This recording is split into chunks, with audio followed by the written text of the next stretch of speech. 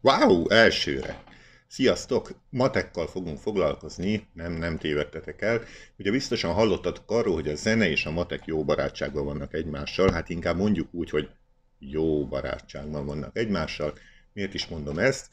Ugye a zenéről annyit kell tudni, én nem értek a zenéhez, de általában ez úgy van, hogy egy alaphangra és egy ahhoz tartozó hangsorra épülnek. Ugye ezt nevezik hangnemnek, és az ilyen zenét tonális zenének hívják. Ezt kopiztam a Wikipédiáról, de ezt tanították is énekzene órán. Ugye ezek a hangsorok pedig úgy épülnek föl, hogy az egymás utáni hangok egymáshoz való viszonyát kell megadnunk, és ezt nevezik hangolásnak. Na most itt jön az a kéz a kézben jó barátságban, ami nem igaz. Ugye az idők során nagyon sok kísérlet történt a különböző hangsoroknak az előállítására. Ti is tanultatok biztosan arról, hogy Pitagorasz és a egész számok hányadosa és aránya, stb. Ugye a mostani modern zenében az úgynevezett temperált hangskálát használjuk, ahol egyetlen egy rögzített hangköz létezik, az oktáv. Az oktáv az mondjuk ez. Ez az oktáv, és ez két olyan hangnak a frekvencia arányát fejezi ki, ahol a magasabb hang frekvenciája kétszerese a másik alacsonyabb frekvenciájú hangénak. Na most nézzük meg azt, hogy két ilyen hang köz között, tehát egy oktávon belül hány hang található. Hogyha innen indulunk, ez egy C hang, itt ez egy másik C hang, akkor idáig kell eljutni, tehát innen indulunk, tehát 1, 2, 3,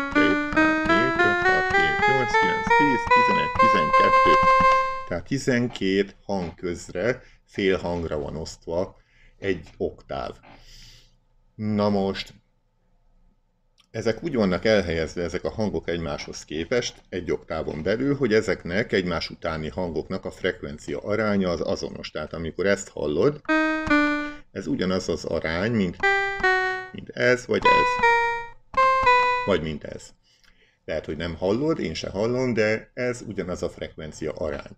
Na most, hogyha egymás után 12 frekvencia aránya azonos, az azt jelenti, hogy ezek mértani sorozatot alkotnak. Tehát ezek a frekvencia arányok úgy vannak kitalálva, hogy a frekvenciák értéke egymás után mértani sorozatot alkot, hogyha 12 részre kell osztani egy kétszeres szorzót, mert ugye ez a hang és ez a hang egymásnak a kétszeres frekvenciája, az azt jelenti, hogy kettőnek a 12. gyöke a mértani sorozat aránya.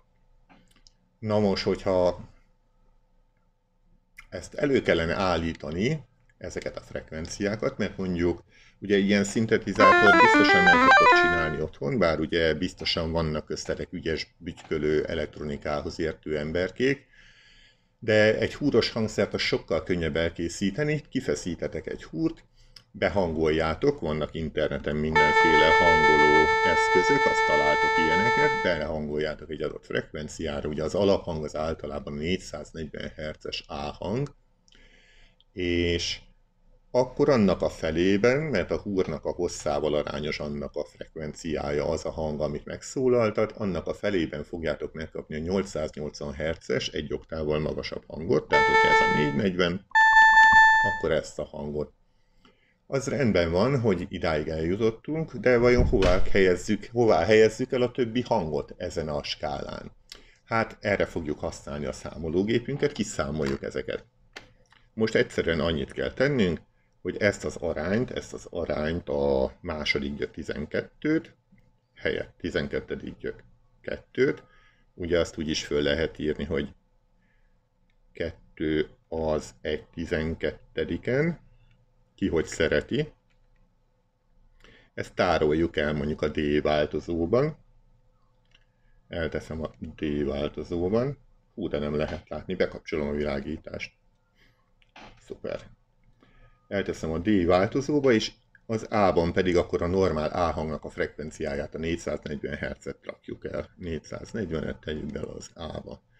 És egyszerűen annyit kell csinálnunk, hogy átmegyünk a táblázatba, a függvényünk az ugye úgy fog kinézni, hogy vesszük az át, az be kell szorozni a D-nek a megfelelő hatványával. A D-nek a, az x hatványával az x-ben lesz az, hogy hanyadik félhangnál járunk. Egy G függvényre nincsen szükségünk, és honnan induljunk? Hát induljunk nullától, és menjünk el 12-ig, tehát a következő oktávig egyesével. És már meg is kapjuk a frekvenciákat, tehát 440 Hz-ről indulunk. Ez egy fél hanggal, tehát az A hangunk fölött, az egy AIS hang. Ez egy H,